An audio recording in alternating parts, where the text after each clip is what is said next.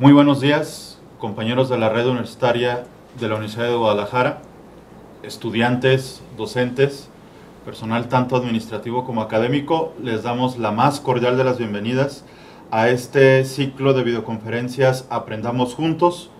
Particularmente el día de hoy manejaremos la temática el entorno familiar y social como ambiente de aprendizaje. Analizaremos qué es lo que está pasando, qué le sucede a las familias actualmente en nuestra sociedad. Tratar no solamente de enfocarnos a la cuestión problemática, sino también pues en detectar algunas soluciones, algunas, digamos, áreas de oportunidad a esta situación que hoy analizaremos. Con el gusto de saludarlos, también me da mucho gusto presentar a mis compañeros que estarán el día de hoy presentes aquí en el panel. Eh, comienzo con la licenciada Evelyn Martínez Covarrubias. Ella es licenciada en psicología y está enfocada principalmente en la atención pues, a familias y niños. Bienvenida, licenciada. Gracias, buenos días. También nos acompaña el maestro Gerardo Coronado Ramírez. También él cuenta con una licenciatura en psicología y una maestría en desarrollo humano para las organizaciones. Maestro Gerardo, buen día. Buenos días a todos. Y por último, para completar esta mesa del panel del día de hoy, se encuentra el maestro Alejandro Góngora Montejano.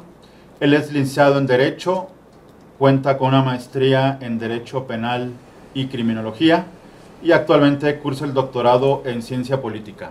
Muchas gracias, Rafa. Un saludo a tu auditorio. Gracias, gracias Alejandro. Este, pues rápidamente, para cederles luego el uso de la palabra, trataremos de comentar y de analizar pues esta situación particular, les decía, de cuál la dinámica, el papel que juega actualmente la familia en nuestra sociedad. De repente podríamos tener esa sensación de que el pasado era, era mejor, eh, quizás está el lamento de los padres o de los abuelos que en sus tiempos la familia era mejor, pero seguramente cuando ellos eran jóvenes también estaba ese sentir por parte de sus abuelos y así sucesivamente, ¿no? Entonces creo que más que decidir si estamos mejor o peor que antes, sería pues detectar cuáles son esas cualidades que hoy caracterizan a la familia y sobre todo pues lo que cotidianamente nosotros podemos hacer como miembros, como integrantes de esta, de esta sociedad. Para eso y para irnos un poco internando en el tema, cedo el uso de la palabra al maestro Gerardo Coronado. Gracias, buenos días. Em, el asunto de la familia, como cualquier otro asunto que queramos analizar, tiene que ser visualizado en términos históricos para poder entender la situación actual y poder establecer de alguna manera cuál podría ser la tendencia de, de lo que estemos analizando.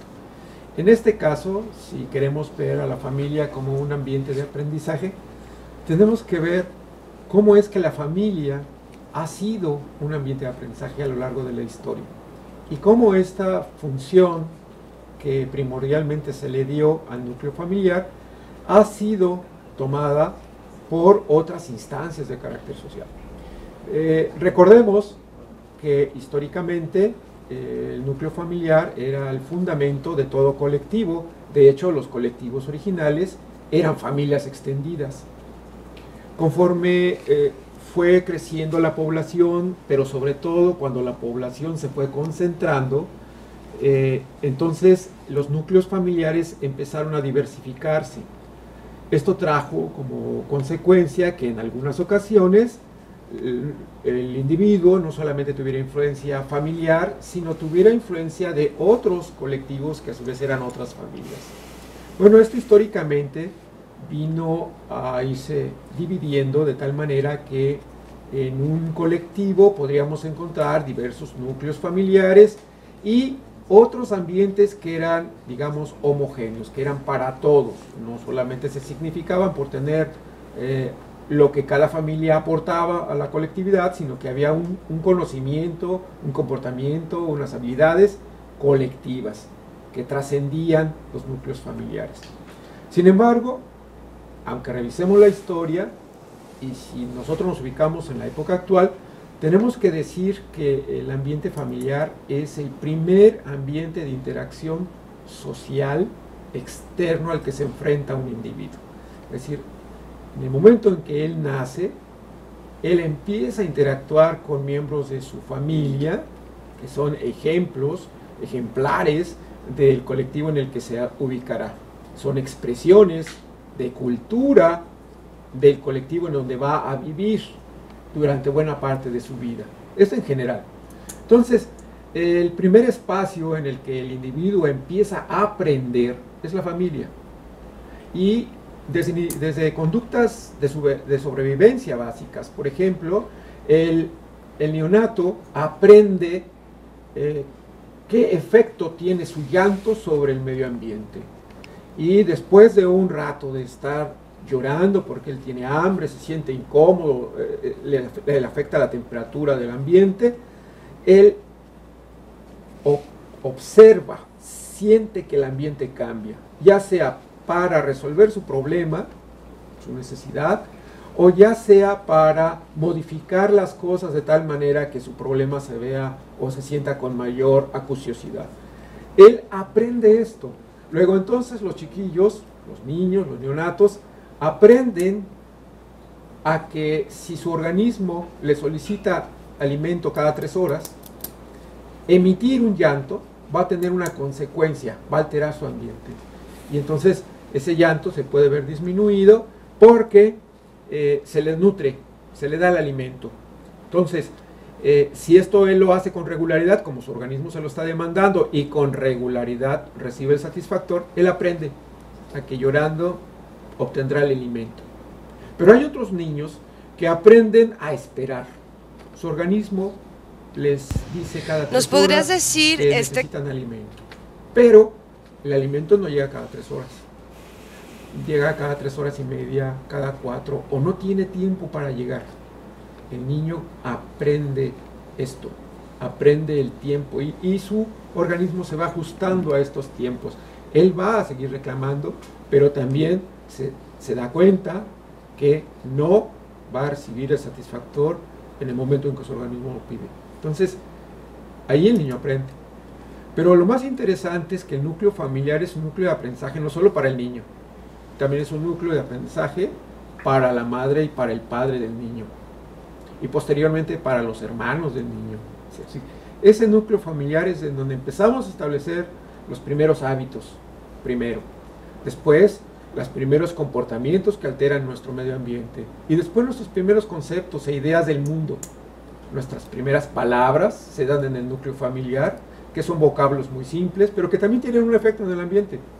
Este efecto puede ser un golpe, puede ser una sonrisa, puede ser una caricia, puede tener diferentes resultantes esta emisión de un vocablo, de un fonema y el niño aprende qué es lo que va a pasar cuando él hace cosas. Nosotros podemos ubicar el ámbito familiar en nuestra sociedad actualmente eh, no es muy largo en las, en las urbes. Todas las madres, por su trabajo, por diferentes tipos de condiciones, tratan de que sus hijos sean atendidos en centros escolares a cargo del Estado. Bueno, el niño aprende que en determinadas ocasiones él tendrá que estar fuera del ámbito familiar y ahí va a haber resueltas sus necesidades. Hay otros núcleos familiares en donde la estancia infantil se prolonga cinco o más años y su primera salida del núcleo familiar es cuando se va a la escuela eh, formalmente, aunque de manera informal el niño está teniendo contacto con su colectivo más amplio, con su barrio, con otras familias. Eh, cuando hay la oportunidad, las madres dejan al niño cerca de otros niños para que interactúe, que tienen otras costumbres, que tienen otros, y el niño va aprendiendo cómo relacionarse con ellos. Eh, pero de manera muy interesante, el niño lo que lleva a otros espacios es lo que aprendió en su familia. Entonces aquí podemos ver que eh, la familia, en buena parte, determina los hábitos, originales, los medios de relación y los efectos que puede ocasionar en el ambiente su comportamiento. Y los resultados que obtenga de esto es lo que le va a ir diciendo si lo está haciendo bien o no. Y yo quisiera resaltar otro elemento que después va a tener mucho impacto en el desarrollo eh, comportamental y en el aprendizaje del niño. En la familia empieza a tener los primeros modelos de aprendizaje. Es decir, cómo él tiene que comportarse como niño, como hijo, como hermano, ¿sí? o como hermano mayor, o como hermano menor. Él tiene, de esa interacción, va creando los ejemplos a seguir. Y en ese mismo espacio, la madre y el padre van a reproducir generalmente lo que ellos aprendieron de su casa, de cómo ser papá, cómo ser mamá. Y esto va a ser reafirmado con la interacción con el niño. Un ejemplo de esto es si una madre de familia aprendió que al niño se le calla con una nalgada, bueno, cuando su hijo llore y, le llegue a, generar un sentimiento de incomodidad, ella va a acudir a este mecanismo tratando de eliminar esto que genera malestar en ella o que va a permitirle controlar el comportamiento del niño para que no se salga de los cauces que se establece como normales o benéficos. Ella va a reproducir este comportamiento y si este comportamiento le resulta satisfactorio, es decir, genera el cambio en el ambiente familiar que ella busca, lo va a seguir haciendo. ¿Por qué? Porque ella vio, cuando fue formada, que en su casa así sucedía. Igual, si una madre de familia con un niño de 3, 4 años, en lugar de darle un golpe, eh, platica con él, lo distrae, eh, le da otras opciones de comportamiento, si ella vio esto en su casa, ella lo va a reproducir y si le produce el efecto que ella busca, lo va a seguir haciendo. Entonces, también para la madre de familia, para el padre de familia, es un ambiente en el que ellos ponen a prueba lo que han visto en otros para verificar que les sirve con propósitos de formar a sus hijos, de formar a sus sobrinos, de formar a sus hermanos.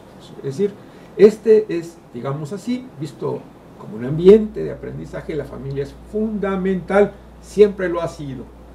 Y si nosotros nos preguntamos qué importancia tiene el núcleo familiar en la actualidad, bueno, pues eh, en ese sentido quisiera yo resaltar que el núcleo familiar, antes como ahora, es uno de los mecanismos que tenemos para orientar el comportamiento de los individuos de la sociedad. Pero cuidado, no es el único ni el más importante. Históricamente podemos advertir que hubo un tiempo en el que la familia era el único espacio que permitía o la reproducción o el cambio de la sociedad. Pero después también tomó ese papel una institución social denominada escuela. Para, para regular estos comportamientos. En efecto. Y ahora vivimos una etapa en que ya no solamente la sociedad, sino todos y cada uno comprendemos y consideramos que la escuela debe ser el espacio en el que los sujetos aprenden lo fundamental. Fíjense bien cómo ahora la familia misma busca que la escuela cumpla con esta misión sin darse cuenta que aunque ella no lo quiera, la familia lo está haciendo, lo va a seguir haciendo. Por eso en la mayor parte de las culturas se enfatiza eh, la permanencia, la estabilidad y eh, el buen estado de la familia, porque sabemos que en ese núcleo el individuo tiene amplísimas posibilidades de aprender lo bueno y lo malo de cada cultura. Por lo tanto, eh, se enfatiza a que debe haber una serie de regulaciones, tanto formales como informales, para que la familia no solamente subsista, sino sea un espacio creativo, estable, eh, productivo para cada uno de nosotros. Y, en la medida de lo posible, la escuela reproduzca lo mejor de la familia, pero al individuo le dé aquello que la familia no le puede dar que en términos generales podría ser el conocimiento laboral, el conocimiento profesional y mucho del conocimiento social, eh, que en buena parte de la historia de la escuela era el fundamento de los centros escolares. Se decía incluso que los niños van a la escuela fundamentalmente a socializar. ¿Qué quería decir esto? A que, bueno, que iban a interactuar con otros de su misma ah, cultura, pero que tenían otros principios de actuación familiar. Eh, en ese sentido, yo quisiera concluir diciendo que la familia, antes como ahora, es fundamental para la reproducción de lo que queremos de una sociedad, pero también para el cambio de esta. Bien, gracias maestro Gerardo. Entonces es importante resaltar que la familia, y lo rescato de tu participación, es asunto como punto de partida para que lo que luego se vaya a dar en la vida de los individuos pues se dé de la mejor manera posible. Hay esta tendencia también como en delegarle a la escuela todas las responsabilidades que originalmente tenía la familia. De eso ya platicaremos un poquito más adelante. Eh, a continuación, antes de irnos a una cápsula, les recuerdo que también este, está disponible en el sitio www.udgvirtual.udg.mx, por donde seguramente muchos compañeros están presenciando esta videoconferencia, un chat que está activado para que pues, nos comenten sus apreciaciones, sus puntos de vista. Y también la página de Facebook, el, sitio de UDG Virtual, búsquenlo así tal cual, eh, UDG Virtual en Facebook y por ahí ya estamos recibiendo los primeros comentarios. A continuación, y también para conocer un poco la opinión de las personas, ahora sí para saber qué es lo que se dice en las calles, este, las cámaras y micrófonos de UDG Virtual eh, hicieron lo propio y consultaron a algunas personas con algunas preguntas muy concretas sobre su apreciación de la familia en, como responsable, pues, como instancia formadora de los primeros aprendizajes de nosotros como personas. Entonces, los invito a que veamos con atención la siguiente cápsula que hemos preparado para ustedes. ¿Nos podrías decir este, qué piensas acerca de cómo influye la familia en el actuar de las personas?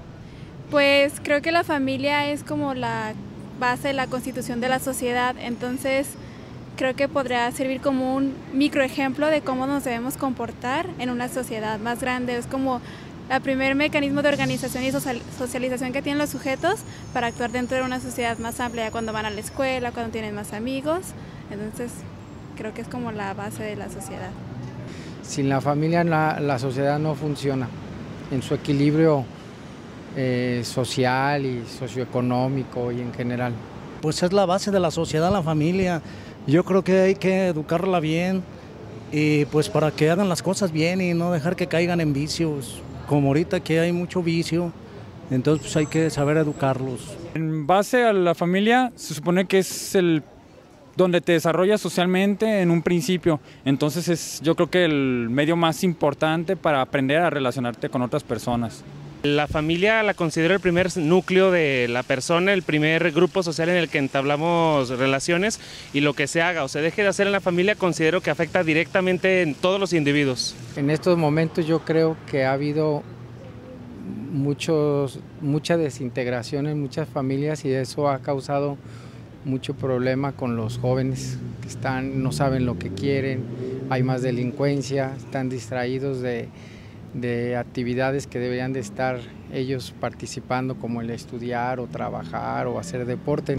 ¿Qué valores consideras importantes para tener una mejor sociedad? Pues sería el respeto. Tolerancia, igualdad, respeto. El respeto hacia todas las personas que ya no, ya se han ido acabando esos valores que había antes, que les inculcaba uno a los hijos y que ahora ya no, ahora les vale. Creo que en vez de valores se necesitaría la comunicación entre los hijos para que no sigan mal camino de drogas, alcohol, cosas así.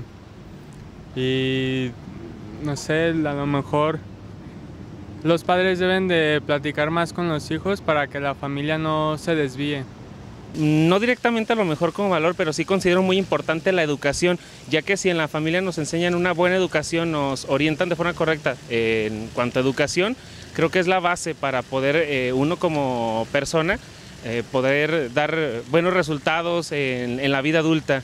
sobre todo el, el pedir por favor y gracias es la palabra clave para todo, porque ya ahora en día, o sea, no, no, ni gracias, ni por favor, ni no le dan el asiento a las personas mayores en el camión.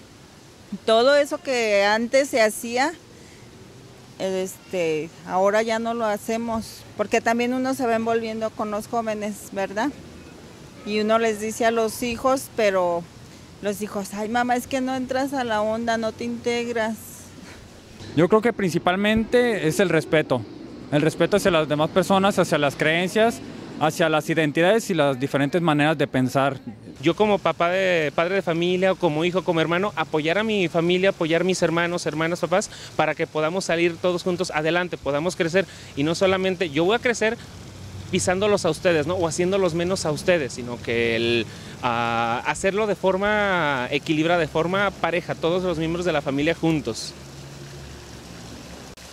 Bien, pues esta fue la, la participación de, por parte de, del público con esta cápsula que hemos preparado. Ahora yo le preguntaría a Lisiada Evelyn, desde tu atención, pues, digamos, terapéutica, se le puede llamar así, este, en atención a los niños, sobre todo, pues, pero obviamente en relación con sus padres, su comportamiento, eh, ¿cuál es el común denominador de qué es lo que les, cuál es el, los rayos X, por así llamarlo, de que tienen la, la familia actualmente, de acuerdo a lo que tú te toca atender? Bueno, gracias. Eh, primero que nada, a mí me gustaría eh, empezar diciendo que en la actualidad hay muchos tipos de familia. Por familia podemos entender que es eh, un papá, una mamá, hijos, y ahorita ya las familias son muy diferentes. El mismo día a día ha ido que las familias vayan siendo en ocasiones eh, solo una madre soltera y su hijo, un papá. A veces desafortunadamente tenemos pérdidas de uno de los, de los elementos de la familia.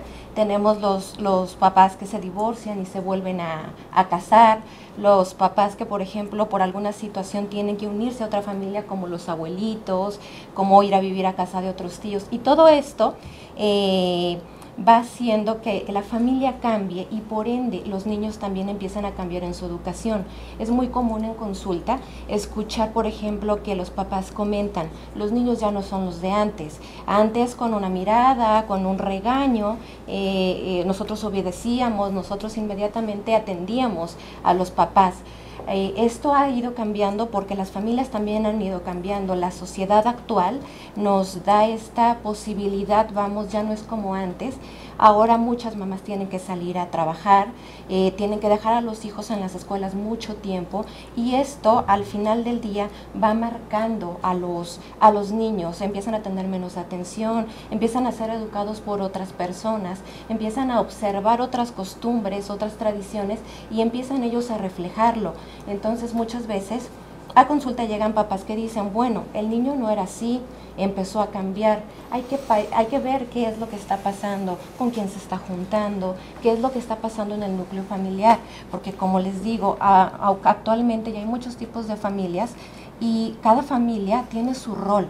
Cuando tenemos una mamá y un hijo, que nada más son ellos solos, tienen su rol, tienen su manera de pensar, de actuar, incluso de defenderse, porque desafortunadamente estas familias que no son las tradicionales, sin embargo, son familias a final de, de cuentas, a veces son discriminadas en las escuelas, empiezan, empiezan a sufrir lo que, lo que conocemos como bullying, los niños a veces no lo platican o como la mamá, el papá siempre están muy ocupados, lo omiten o tienen pena, vergüenza de estarlo diciendo y desafortunadamente el niño es el que va llevando toda esta carga. A veces también podemos tener, por ejemplo, problemas en un matrimonio. Es muy común ahorita que las parejas discutan mucho. Tal vez antes se daba, se daba igual, pero ahorita es más común que uno eh, vea a las familias, papá, mamá, eh, gritándose, incluso familias que han llegado a golpes en consulta. Me ha tocado conocer a familias que entre papá y mamá han dado golpes entre sí, creen que los niños no los ven, que no los escuchan. Y claro que sí, los niños todo esto están afectando su autoestima, están afectando las cuestiones emocionales con las que ellos están creciendo. Empiezan a, a crecer creyendo que así es la familia, empiezan a reflejar esto y luego los papás se preguntan, ¿qué está pasando con mi hijo? ¿Por qué se está volviendo agresivo, porque se está volviendo introvertido, porque llora sin motivo, porque ya no es el mismo de antes. Es ahí cuando recurren normalmente a, un, a una consulta psicológica, pero no se dan cuenta que no es el niño el que tiene el problema. El niño está creciendo en una familia, está aprendiendo de lo que está viendo y muchas veces ni siquiera es su propio familiar el que lo está eh, dirigiendo, pero aún así él aprende, si mamá no está conmigo, si papá no está conmigo, yo tampoco voy a estar ahí para, para cuando ellos lo necesiten. Es muy común también, por ejemplo, ver niños que comienzan a ser agresivos sin motivo aparente eh, y lo están viendo reflejado por los papás. Podemos tener la famosa violencia psicológica que el papá a veces puede ejercer sobre la, sobre la mamá y que la mamá de alguna manera lo, lo permite. Podemos tener el bullying, como se los mencionaba en la, en la escuela, pero todo esto viene a que las familias cada vez están más eh, cambiadas, las necesidades, los roles, lo que la sociedad en general está aportando como familia, está haciendo que los niños cada vez sean diferentes. Los niños, por ejemplo, de antes, jugaban en la calle con la pelota. Ahorita vemos niños con la tablet, con los juegos, no atienden a la tarea, no atienden a las instrucciones incluso de los papás. Eh, toda la tecnología ha ido evolucionando y ha hecho que las familias y sus integrantes, como son los niños, estén cambiando. Las familias ya no son como lo eran antes.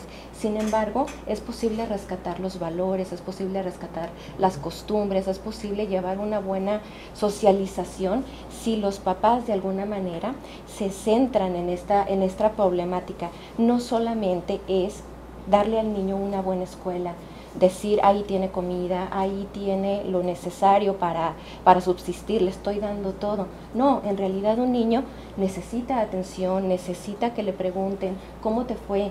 Un padre necesita aprender a conocer a su hijo. Un papá que conoce a su hijo sabe cuando está triste, sabe por qué le duele algo, sabe si es verdad o no, porque también los niños a veces mienten para llamar la atención. Pero esa llamada de atención es por algo, necesito que me veas, necesito que notes que estés aquí. Es bien importante esto, independientemente del tipo de familia que haya, ya sea una mamá, un papá, parejas separadas, integrándose a una nueva familia todos como, como, personas que nos llamamos familia deberíamos de estar al pendiente de los niños porque están en una etapa de crecimiento y de desarrollo en donde si el autoestima por algo se ve afectado, va a ser un adulto afectado, va a ser un adulto que no va a transmitir emociones y sentimientos de la manera adecuada, va a ser un adulto cerrado, posiblemente egoísta, un adulto que posiblemente no tenga tolerancia a la frustración, todo esto se va desencadenando cuando en la familia no se dan los factores necesarios y suficientes.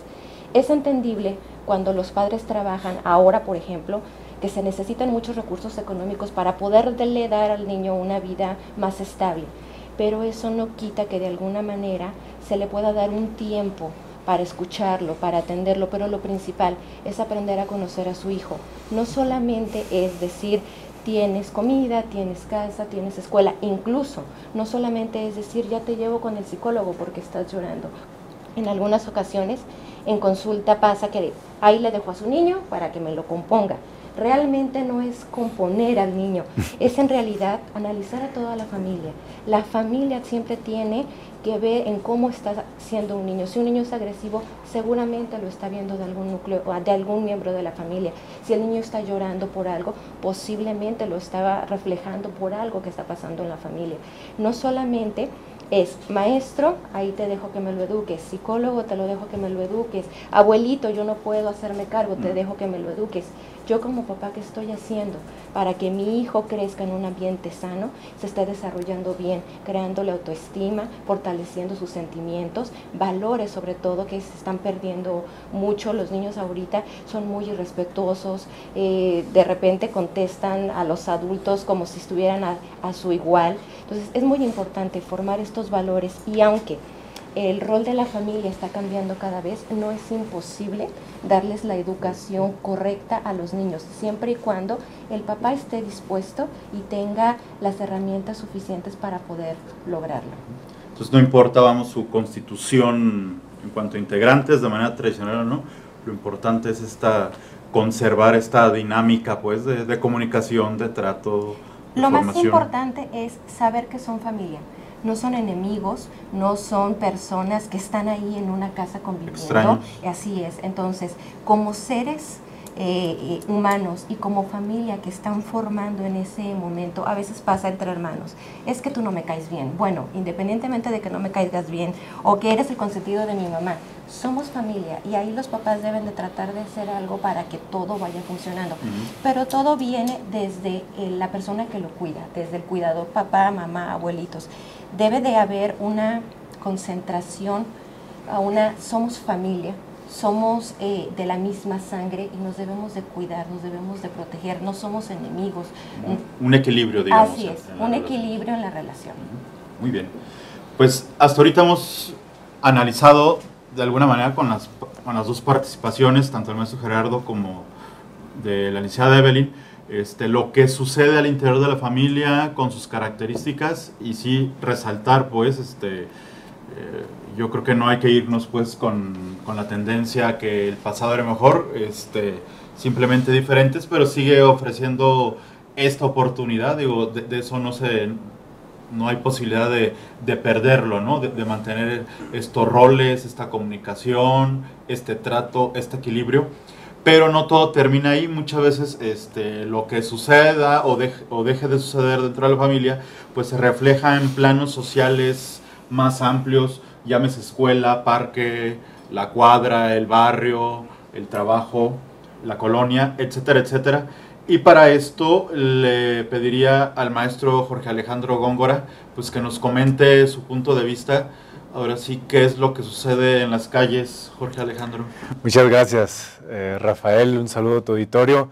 Eh, yo quisiera eh, iniciar retomando a un tratadista como Platón, que decía que el ser humano por necesidad necesita vivir en comunidad y comunicarse. ¿Cuál es el primer núcleo de comunicación, de aprendizaje que tiene el ser humano? Pues es el núcleo de la familia. Como bien comentó el maestro eh, Gerardo, el primer eh, contacto que se tiene para aprendizaje, incluso de vocablos, de respeto, eh, de, saber comunicarse y saber darse a entender, es con la familia. También un tema que comentó la licenciada Evelyn es que las familias hoy en día, ese concepto de matriarcado ya no existe o, existe muy poco, ya no es el común denominador, ¿no? Hay madres solteras, eh, padres solteros, familias eh, desintegradas, hay que decirlo, o familias donde conviven con el abuelo, con el tío, con los primos, etcétera, etcétera. Bien, eh, pero también hay un punto muy importante. A, raíz de los factores sociales y económicos, las familias han adquirido otro rol en la sociedad. Mayor ejemplo de ello son, como lo vimos en las cápsulas, se refieren mucho a los jóvenes y a los niños. Eh, cuando vemos por ahí un niño en la calle o un joven que falta el respeto o no tiene ese valor social de solidaridad, decimos, eh, ese muchacho tiene una muy mala educación y se lo atribuimos a la familia y decimos eh, que la familia es quien no lo está educando bien. ¿sí? Bueno, hay que decirlo que hoy las familias, por el rol social que adquieren, pues ambas partes, tanto como padre o madre, tienen que salir a buscar el sustento económico el joven y el niño adquiere otro rol en la sociedad. Sí, eh, este rol lo empodera bastante. Voy a hablar antes de, este empoderamiento del, joven y del niño, quiero hablarles eh, acerca, eh, como un primer punto, de lo que sucede pues, en estas desintegraciones familiares. Bueno, en un primer punto, la madre o, o los factores políticos sociales y culturales, la madre busca un sustento, el padre tiene que a veces salir a buscar el mismo sustento y le dejamos la educación a las instituciones públicas de educación o instituciones privadas. ¿sí? Edúquemelo, por favor. Y tenemos esas instancias, eh, guarderías de amplio margen de tiempo, y también decimos, este, oiga, no me está educando a mi hijo porque llega a la casa y no quiere hacer tarea. Llega a la casa y me falta el respeto. No obstante, sale a la casa y falta el respeto. Como decía muy bien la licenciada Evelyn, eh, vienen con otro chip, dicen por ahí. Yo creo que no es esto. Yo creo que es el rol que adquiere hoy en día los jóvenes y los niños en la familia. Eh, para las instituciones de educación, eh, el tener a los jóvenes activos con educación física, talleres de artística, es bueno, desarrolla el muchacho, pero no está cumpliendo su función en incrementar los valores eh, sociales, civiles, de amor a su patria, de desarrollo armónico. O sea, no le está creando habilidades eh, para enfrentar problemas sociales, no le está creando habilidades para su autogestión en salir adelante. Eh, y con esto voy a tomar el otro punto, que es el rol del empoderamiento del joven al ver que, tanto padre como madre sale a buscar este sustento, eh, estos jóvenes, eh, sobre todo el que es el mayor en la casa, se hace cargo de la casa y del niño. Le llaman el síndrome del niño de la llave. ¿Cómo es este síndrome? Bueno, eh, le encargan la responsabilidad a este joven, le dicen, cuando llegues de la escuela, le das de comer a tu hermano, te pones a hacer tu tarea, ayudas a tu hermano a hacer la tarea, limpias la casa, se meten a bañar todos para cuando yo llegue ya tengan todo eh, perfectamente resuelto y yo nada más llegar quizás a descansar o a darles la cena. Incluso hay situaciones donde se le otorga al muchacho un, este, digamos, se le brinda una, eh, concesiones económicas por hacerlo o tiene facilidades y permisos para, para salir a la calle a jugar. Pero luego resulta que este muchacho adquiere un poder en la casa y toma decisiones, o bien no las quiere acatar. ¿Dónde puede encontrar este muchacho su sustento o su respaldo social? En la calle. Y es cuando ya las pandillas entran, cuando ya otros grupos, a lo mejor no necesariamente delictivos, toman a este muchacho y le dicen, nosotros, eh, aquí tienes una familia, en la calle. Y entonces el muchacho, su primer eh, contacto de aprendizaje y, de comunicación ya no es la familia, sino son otros muchachos en una situación similar. Ese es un eh, factor social que estamos viendo, pero que el, mismo factor económico los obliga. Yo quiero cerrar eh, con dos vertientes. Eh, ¿Qué respuestas hay a esto? Bueno, hay respuesta institucional y otra social. La respuesta institucional es que la misma, el mismo Estado tiene políticas sectorizadas, políticas que incluso no ayudan a la unión familiar, políticas que dicen, bueno, esta es la política para apoyo al joven, y entonces el joven es hay un apoyo para la madre y la madre es... Luego hay un, un apoyo para padres este, y para el adulto mayor. Entonces hay cuatro sectores, no los está conjuntando, sino que está resolviendo o está asistiendo a cada uno de los sectores. Por separado. Por separado, es correcto. Y el otro factor es el social, donde la familia ya busca resolver eh, su situación primero individual y después colectiva. Y eso rompe el tejido social, porque digo, hay muchísimos eh, conceptos sobre tejido social, pero el más importante es la comunidad en familia. Creo que con esto, digo, podemos eh, ir eh, resolviendo varias situaciones sociales de lo que está actualmente sucediendo. Ah, pues, bueno, posteriormente retomaremos este, este concepto que nos mencionas. Claro que sí. la primera participación que ya nos está llegando es una pregunta que nos hacen sobre el concepto de home school, o este, la escuela en la casa, como una tendencia actual.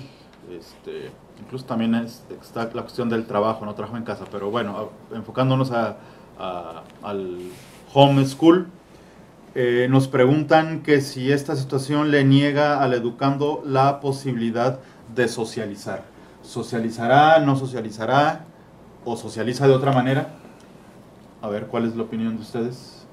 Yo considero que eh, la escuela es una eh, institución social para los niños.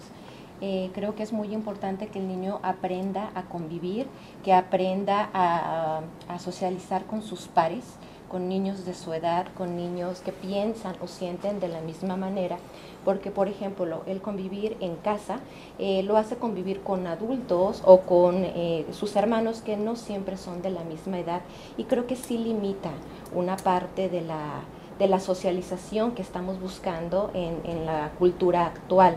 Sin embargo, también hay algunas familias que por cultura es más fácil este tipo de educación en casa y son, creo yo que son más bien costumbres, pero respondiendo netamente a la pregunta, creo que sí limita la sociabilidad, creo que un niño necesita eh, y merece esta socialización con sus pares, sobre todo para aprender desde defenderse, eh, eh, competir, porque también es parte de lo que los niños van desarrollando, una competencia sana, tolerar la frustración y otros valores que solamente se aprenden conviviendo con gente de nuestra edad.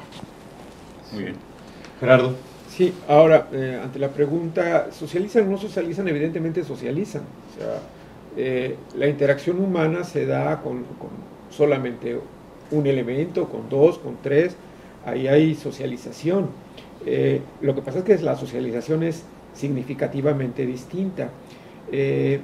Eh, el homeschool es una propuesta de colectivos que su argumento fundamental es, como yo no estoy de acuerdo con lo que la escuela les da a todos, y a mí me parece más importante lo que mi familia o núcleo familiar, generalmente estas propuestas son de núcleos familiares extendidos, no son de núcleos familiares como, el modelo que se vende ahora de la familia pequeña y mejor, o sea, no es de un papá, una mamá, un niño y una niña, sino generalmente son núcleos familiares extendidos, a donde están los tíos, los abuelitos, los primos, y todos conviven en núcleos amplios, ahí es donde se toma la decisión del homeschool. Es decir, yo no estoy de acuerdo con lo que el gobierno o el Estado le está dando a los jóvenes, a los niños, entonces yo le doy lo que creo que es más significativo, lo que mi familia tiene.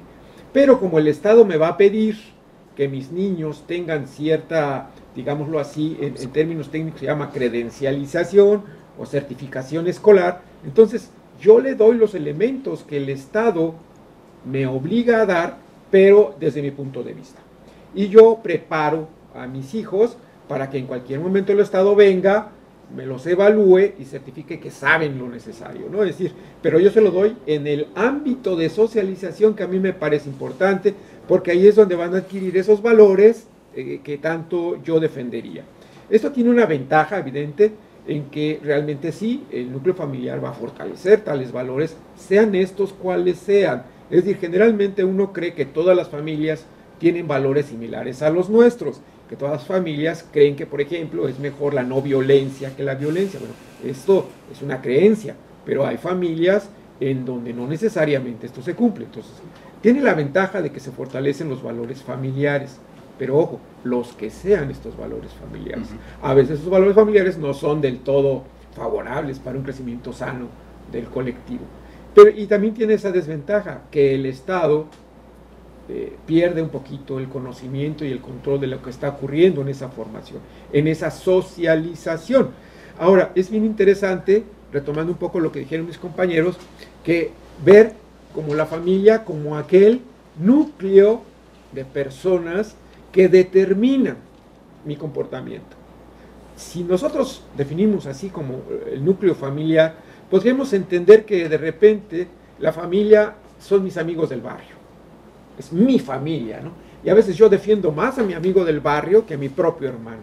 ¿Por qué? Porque ese núcleo barrial, ese núcleo, me da más elementos de autoestima, de autoconocimiento, de autocontrol, de fortaleza, de aceptación, que mi propia familia. Entonces, eh, también entenderíamos que para otros, por ejemplo, que desde los tres meses están metidos en estancias infantiles y luego se pasan a una guardería a los cinco años y luego están 12 años y luego siguen y así se siguen por toda la escuela, cuando son doctores en, pues lo que conocen es el ambiente institucional. Entonces su familia llegan a ser los maestros, los trabajadores administrativos de las instituciones y eso es lo que les da fortaleza. Entonces, evidentemente ellos le van a seguir o van a a tomar los modelos como de fortaleza del maestro, del asesor, del tutor, del empleado, porque esa ha sido su familia, es lo que los ha nutrido en términos psicológicos, que les da esa fortaleza como seres humanos, digamos, los ha humanizado eh, eh, este transcurrir. Entonces, eh, sí es muy importante, el homeschool es una apuesta que hacen algunos colectivos para formar dentro de sus valores, pero nada más hay que analizar qué tipo de valores son los que está ofreciendo ese núcleo familiar.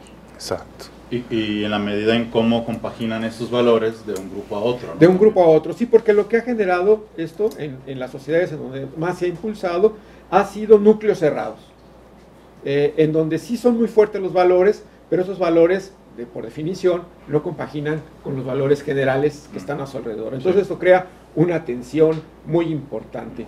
Eh, ¿Por qué? Porque esta gente formada de esta manera, con estos valores, con este marco axiológico muy sólido, muy fuerte, tiene que relacionarse, necesariamente tiene que relacionarse con otros marcos axiológicos.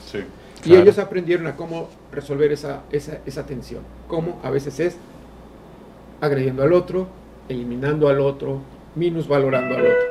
No necesariamente respetando. Así es. Claro. Eh, nos hemos dedicado hasta este punto de la, de la, charla, bueno, un poco como a detectar la problemática, como a, este, a traducir o a identificar cómo está esta radiografía y ahora de la familia.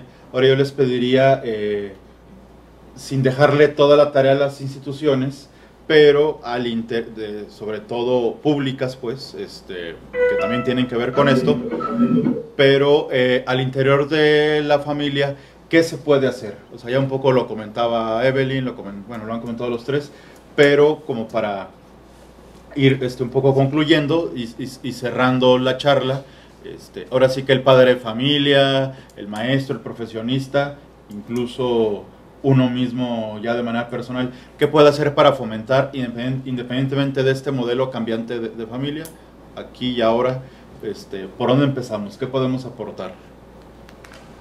Gracias. Em, creo que una, una buena conclusión eh, para los papás sobre todo podría ser el siempre estar al pendiente de sus hijos.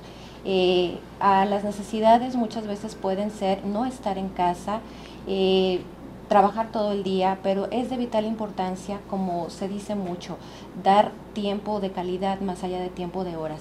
Hay padres que pueden estar todo el día en casa y no voltean a ver al niño.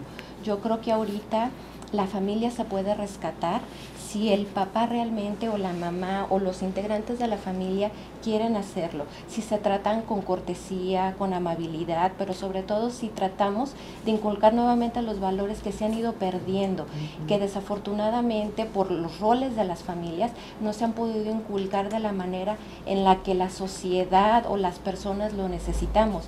Sin embargo, creo que nada está perdido. Creo que todos los papás de manera general desean que su hijo sea aceptado, desean que su hijo destaque, desean tener un hijo eh, exitoso, profesional y quieren darle las, las posibilidades de que lo tengan. Y muchas veces no saben cómo hacerlo. Eh, muchas veces me han comentado en consulta, es que mi hijo no nació con un manual, es que yo quisiera que trajera un instructivo porque a veces no lo entiendo. Yo creo que ningún papá nace sabiendo ser papá y ningún niño nace con un manual. ¿Qué es lo que podemos hacer entonces? Tratar de comprendernos, el hijo tratar de comprender a los padres, independientemente igual de la edad que tengamos, no únicamente los niños, eh, y los padres tratar de entender a sus hijos que están aprendiendo a conocer el mundo, que se van a equivocar, que se les van a caer las cosas, no etiquetarlos, no lastimarlos en su autoestima cuando ellos no son lo que ellos esperaban. Ahorita las expectativas de un padre son muy altas. Mi hijo va a ser doctor, mi hijo va a hacer esto, mi hijo va a ser como yo. Y si el niño no tiene esa habilidad o ese talento, frustra al papá y empieza entonces el papá a bajar la autoestima. Es muy importante conocer a nuestro hijo, conocer sus habilidades, sus talentos y también sus fallos y no, no satanizárselos, no decir estás mal en esto, al contrario, tratar de ayudarlo para potencializar en lo que sí puede destacar y ayudarlo a que eso sea una fuente de autoestima.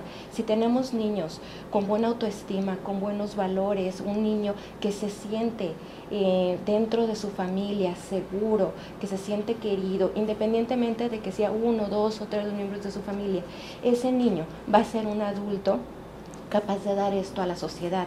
Va a ser un adulto de bien, pero sobre todo va a ser una persona que va a poder aportar mucho a los demás, en vez de quitar, como muchos jóvenes que estamos viendo, que se dedican a la delincuencia o a hacer daño, jóvenes que posiblemente no tuvieron estos valores en casa. Creo que no es imposible hacerlo. Yo creo que todo inicia desde el poderme sentar a ver a mi hijo, checar qué es lo que necesita, ver qué es lo que está eh, faltándole, pero sobre todo poderse dar el tiempo de decir, hijo, aquí estoy para ti. Y no estoy con el teléfono, no estoy viendo la novela en el comercial, me platicas. Yo creo que aunque le podemos, pudiéramos dedicar 30 minutos al día al niño, pero de calidad, qué quieres, qué necesitas, podríamos poco a poco ir fortaleciendo los valores de la familia, independientemente de quienes la compongan creo que eh, quien esté dentro de un núcleo familiar, si se dedican tiempo, podemos fomentar valores, respeto, seguridad, autoestima y creo que es lo que necesita un niño para ir creciendo y desarrollándose óptimamente. Entonces, tiempo de calidad podría ser una recomendación concreta. Muy bien, muchas gracias, licenciada. Este, ya hemos recibido algunas preguntas por parte este, de las personas que nos están viendo a través de la web. Mariana nos pregunta la familia es el primer factor de, indisciplina en las instituciones educativas? Pues es el reflejo de lo que viven en casa, ¿no? No necesariamente eh, repiten o, el muchacho dice alguna barbaridad, sino es el patrón, ¿no? Que, que siguen de, aprendizaje de la familia. De alguna manera es un, patrón que, refleja pues, de, la familia de la escuela. Muy bien. Linda nos pregunta, ¿Cómo afecta el entorno familiar y la misma sociedad para la toma de decisión en los jóvenes al drogarse o alcoholizarse? Ah, toda decisión que tome un ser humano lo hace en la búsqueda de un cambio en su alrededor, en su entorno.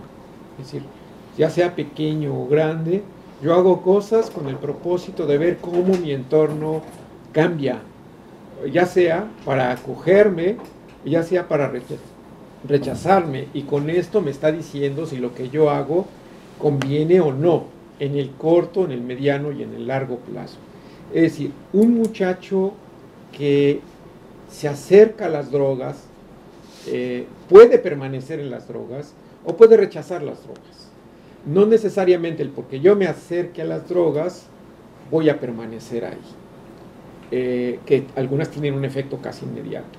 Pero el simple hecho de tomar la decisión de acercarme está dado porque yo estoy probando si este acercamiento va a tener mayores ventajas para mí que desventajas. Es decir, si yo me acerco al núcleo que consume drogas y este núcleo me acoge, me, me nutre, me premia el hecho de que yo haga esta, esta tenga este comportamiento, esto incrementa la probabilidad de que yo siga haciéndolo.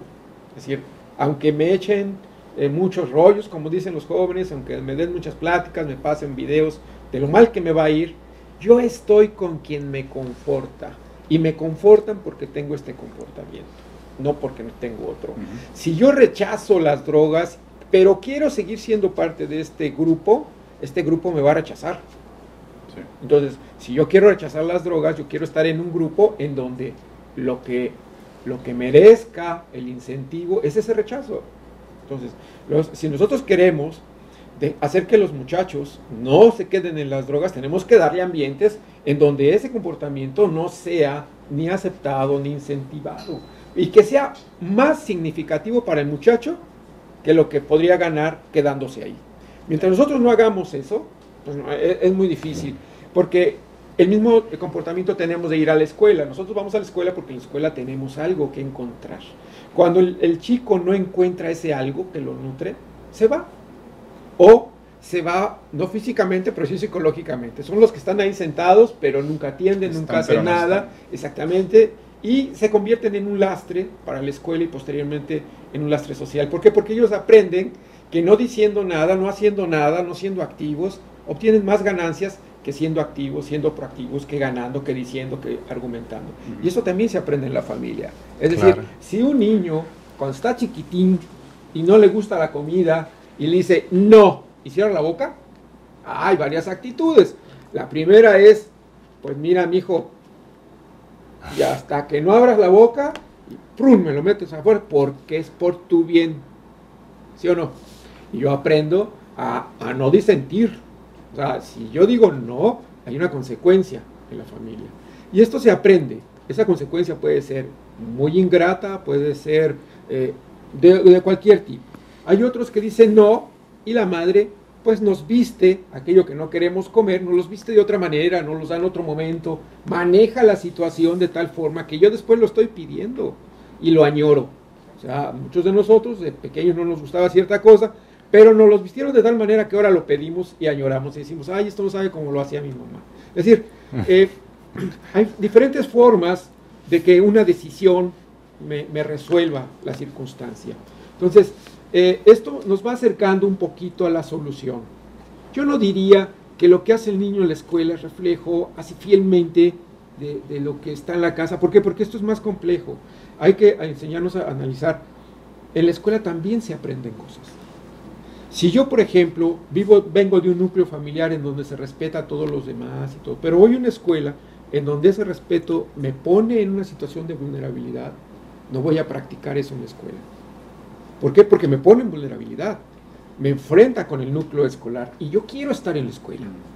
Entonces ahí aprendo ciertos comportamientos. Hay, hay, una, hay una capacidad que tiene el ser humano que es, es, donde yo creo que hay que trabajar mucho. Nosotros nos adaptamos al medio en el que estamos. Exacto. Si en la escuela es una escuela agresiva, que me pide ciertos comportamientos, se modula en gran medida lo que yo aprendí en la casa. ¿Por qué? Porque tengo que sobrevivir ahí. Ahí me mandan, ¿no? O sea, ahí estoy. Y, bueno, alguna ventaja adquiero. Entonces tengo que modificar mi comportamiento. Pero ojo, lo voy a hacer mientras estoy en la escuela. Cuando yo regreso a mi casa y me llevo comportamientos estos a mi casa, en mi casa van a decir, aguas, alto, aquí eso no se vale. Entonces yo empiezo a ajustarme. Y al poco tiempo yo tengo un comportamiento en la casa y otro comportamiento en la escuela. Y así voy aprendiendo otro comportamiento en el trabajo y dependiendo del trabajo, de cómo sean mis jefes, de cómo sean mis compañeros. Esta adaptabilidad es muy humana. De hecho, es lo que caracteriza al ser humano. Ser humano. Es decir, esta adaptabilidad, esta capacidad de aprender. Y sobrevive, ¿no? Exactamente. Por eso es que, sí, la familia es el primer núcleo, el primer ambiente de aprendizaje, pero no es el único. Los otros nos van modulando. Lo que aprendemos en la casa son los principios para aprender. ¿sí?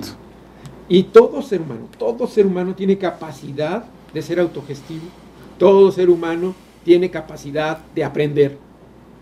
El medio es el que le dice cuándo debe hacerlo y cuándo no. Y curiosamente nuestros medios a veces nunca nos dan posibilidad de ser autogestivos, porque la consecuencia de ser autogestivo es muy, muy alta en algunos núcleos. ¿no? Claro. Este, quien, quien sale o sobresale es el primero que le dan el palo, ¿no? Entonces uno empieza a, descubrir dónde sí se puede y dónde no. Y yo nada más para finalizar diría, ¿queremos que la sociedad cambie? Hagamos lo que queremos que la sociedad sea. Seamos modelos, como padres, como hermanos, como hijos, como maestros. Seamos modelos. No digamos las cosas, hagamos las cosas como queremos que sea la sociedad. Y entonces los chiquillos aprenden. ¿Sí? Y no solo los chiquillos, los grandes. También, de pasadito. A ver, una última pregunta. Este, Porte de Guadalupe dice, en términos pedagógicos, ¿qué respuesta están dando las entidades educativas a los padres para solventar todos estos conflictos que presentan tanto niños y jóvenes en términos de comportamiento y actitud? Sospecho que aquí a lo mejor las instituciones están rebasadas, no lo sé pero eh, ¿qué respuesta están dando? Bueno, eh, creo que desde el punto de vista eh, psicológico, bueno, más allá del ámbito pedagógico, creo que las instituciones educativas están haciendo lo que pueden. Desafortunadamente, las escuelas, sobre todo las escuelas públicas, son demasiados alumnos una sola maestra y a veces una sola maestra no puede con todos los, los niños. Creo que hacen eh, en la medida de las posibilidades y de la capacitación que tienen eh, lo necesario. Lo que más común es mandarlos con un psicólogo, que es la, la, parte que, que, de alguna manera a mí me toca. Muchas veces conmigo llegan con su cartita de la escuela, es que si no va con el psicólogo ya no me lo reciben. Es algo que, que me ha tocado ver que pasa en las instituciones, eh, remiten a los niños, ya sea al departamento psicológico de la escuela si cuenta con él, eh, o directamente con un psicólogo particular para que pueda ver qué está pasando con este, con este niño. Creo que eh, las instituciones están tratando de hacer lo suyo, pero sí creo que falta algo de, de, de, de capacitarlos de alguna manera, porque no es suficiente lo que se está haciendo. Creo que sí se rebasa la población estudiantil en cuanto a los maestros. Los maestros tienen que desde enseñar eh, lo que deben de enseñarles a los niños y aparte estar al pendiente del que mordió, del que pegó, del que se salió. Entonces, para una maestra se vuelve muy complicado y lo más sencillo es eh, mandarlo castigado con la directora, la directora lo manda al departamento psicopedagógico, el departamento psicopedagógico lo manda con el psicólogo y el psicólogo le dice al papá, papás están mal, hay que hacer, creo que todo es un círculo vicioso, creo que todo es un ciclo y creo que nos corresponde a todos poder participar en, en, ello. Creo, respondiendo a la pregunta, que la institución está haciendo lo que en este momento puede, puede hacer. Sin embargo, creo que todavía faltan recursos para poder apoyar a los niños al 100% y que el ambiente estudiantil sea mejor. Muchas gracias. Sí, y de alguna manera, aunque exista el esfuerzo y la labor, este, siempre este tipo de situaciones nos verán rebasados. Así es. Eh, brevemente yo comentaría, las instituciones hacen lo que pueden, pero el, primer, el principio del que parten es de que el estudiante, o sea, el, el alumno, el niño, es el que está mal. Mm. Y por lo tanto hay que darle remedio a ese niño, a ese joven, porque él es el que está mal. y lo rechazan, ¿no? Exactamente. ¿Por qué? Porque aceptar que no es el niño tendría que ser aceptar que la institución, No, está, no está bien. Y eso es difícil que lo acepte. Entonces, partamos, los que participamos en instituciones, del hecho de no buscar siempre el culpable en el niño o en el alumno, sino busquemos en las condiciones que le brindamos a él para que genere esa conducta. Recuerden, los seres humanos respondemos a los medios ambientes y con nuestra respuesta o fortalecemos ese medio ambiente o lo transformamos. Es decir, es un ida y vuelta. Pero si nosotros, como conductores de instituciones, empezamos pensando que el usuario es el que está mal, obviamente generaremos muchas respuestas para que el usuario pague por eso que está mal, pero no veremos el otro lado. O sea, eh, qué tanto de la escuela, qué tanto de mi organización está fomentando estos comportamientos. Mientras no hagamos ese cambio de visualización, de enfoque, va a ser un poquito difícil que toda la inversión, que todo el esfuerzo que hagamos modifique sustancialmente las cosas. Bueno, pues como siempre sucede en este tipo de eventos, el, el tiempo pues ya nos alcanzó, ya nos ganó. Agradezco en verdad su, Muchas gracias. participación. Este, en verdad lo estamos muy agradecidos. Y bueno, lo que hemos mostrado de alguna manera pues es eh, la opinión de estos expertos y pues también como se suele decir la última palabra, la la última opinión y la mejor opinión, pues la tenemos cada uno de nosotros, pues en nuestras familias, en nuestro trabajo, con nosotros mismos. Agradecemos eh, a cada uno de nuestros destinatarios o receptores, pues del otro lado, en los centros universitarios, a través del sitio web de UDG Virtual. En nombre del maestro Manuel Moreno Castañeda, rector del sistema de Universidad Virtual, le damos eh, pues, las gracias por habernos acompañado y eh, pues esperemos nuevamente vernos con otra temática dentro de este ciclo de biconferencias Aprendamos Juntos. Mi nombre es Rafael Franco Sapien. Muchas gracias. Buen día.